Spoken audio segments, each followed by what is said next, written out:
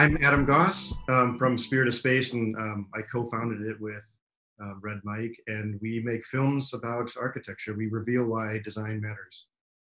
Yeah, this is Red Mike from Spirit of Space, and with Adam, I founded this company back in 2005, and we call ourselves the Architecture Paparazzi, and um, we just we can't stop, you know, working with architects and artists to make films and tell their story.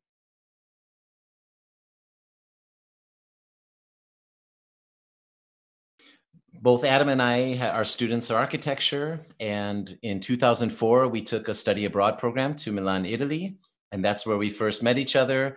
We became friends throughout the semester. And, you know, I bought my first digital camera. We were both filming stuff to share with our friends and family back home.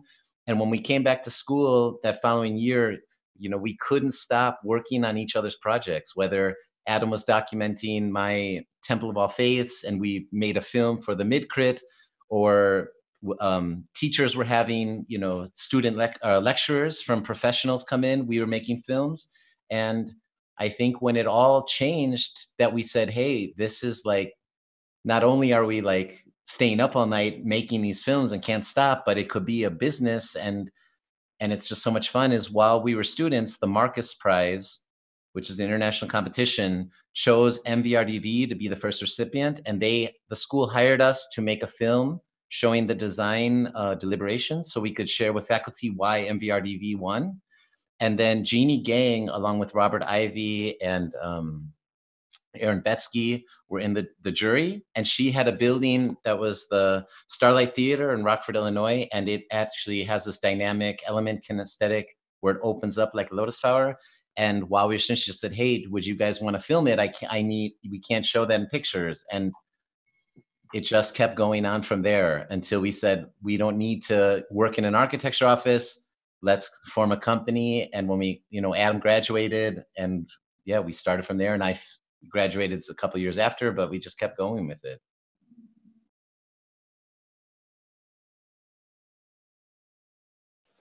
yeah we are looking to find the stories in architecture that are changing the world. I mean we when we started this in 2004 this is when all the photography and architecture had zero people in it. There's a thing to show architecture in its pure aesthetic form and mike and i just realized this is not how we actually experience architecture. And so we um, got heavily influenced by the eames charles and ray eames and they had this amazing diagram where it showed that they needed to connect with their client with their passion and with the rest of the world and it was the first time we saw an architect actually communicating not just to themselves or the profession of architecture, but actually thinking, how do we make sure that you know everything we do, a little kid is going to understand it as much as like a master scientist, you know? And so just like them, we don't discriminate, you know, if the you know they work for corporations and institutions and governments and architects and universities and and it all doesn't matter. I mean if someone wants us to document an object that they made to an exhibition to a building to a city plan you know it's all whatever the right story is that we can get people outside of architecture to understand architecture. We want people to watch our films and learn and change their behaviors to see how to look at architecture to understand why it's valuable and why it is um, why it changes the world you know for, for the better.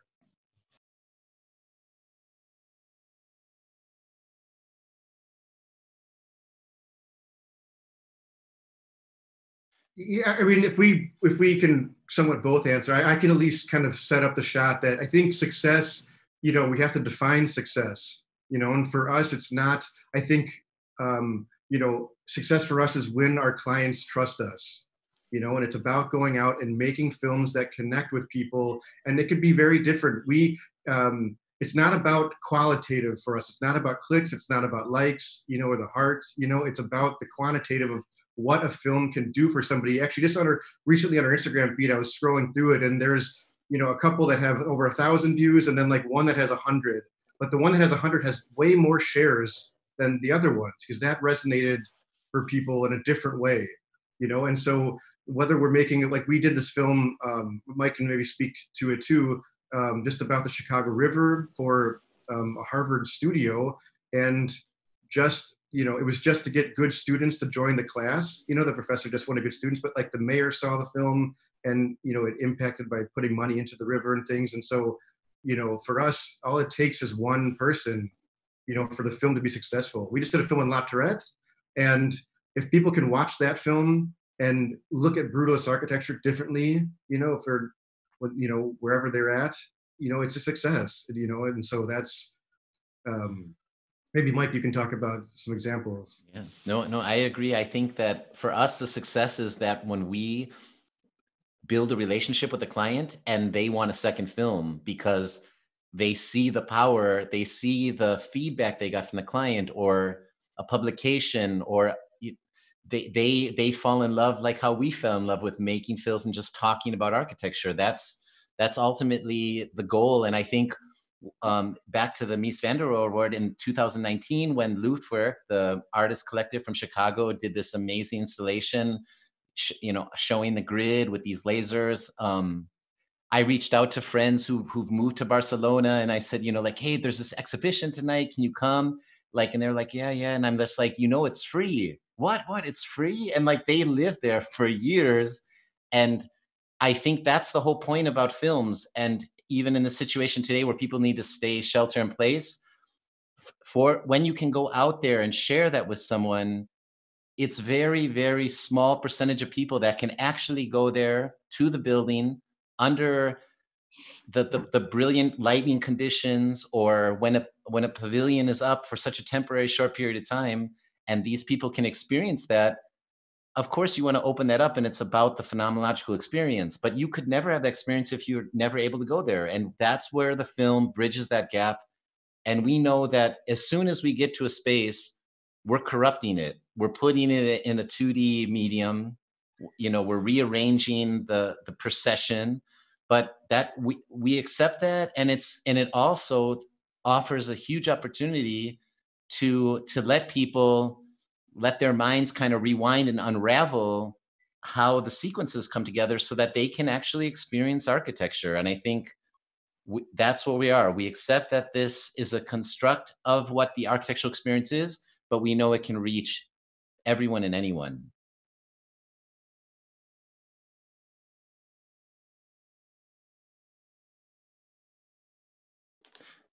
Yeah. Um, well, that was like a recent, yeah, a recent film that we just put up. And I mean, just like everyone, you you look at the social media, you look at, oh, you have new subscribers and you get excited. It's like it's hard not to be human and do that, but and to fall for that kind of immediate gratification. But we need to have to be time and remember that everyone's willing to wait for a good story and no one's going to be upset they, they would be more disappointed to just rush something and get it out there. And one of our latest films that we released, I think, amidst all this, the Corona times of people being at home and having just you know an overwhelming time to to organize it, it didn't have the outreach that we expected for this building, which was the um, by Steven Holl architects, the Reach, the Kennedy Performing Arts Center, and I I think that yeah, sometimes it's like oh you put this out there and it's also up to timing and to fate and what people wrote about or can they find their own story? Would you know would a specific writer for a, a, a specific you know very um, prestigious publication you know will they pick that up? You know and you have to just say well we put that film out there but yeah that that didn't get the outreach that we expected yet. So we have to wait and see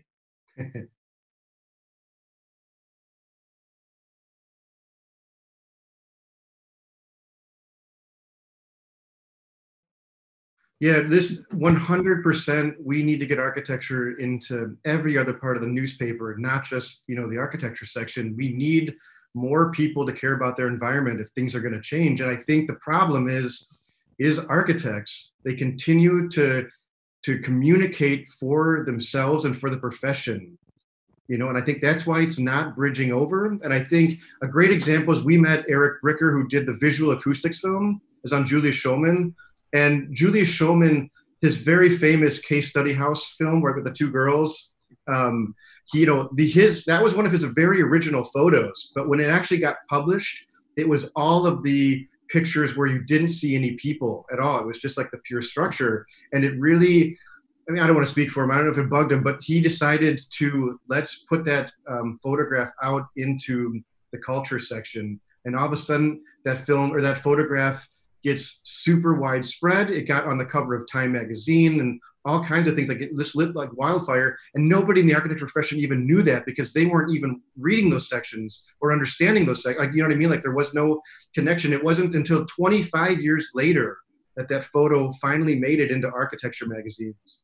And I think architects need to step up and try to think about communicating um, not just to themselves and to each other, but to the wider audience. I think it's absolutely we need to be bridging into those other magazines, and I think Julius Shulman did it, and he did it under the radar, and it was super successful.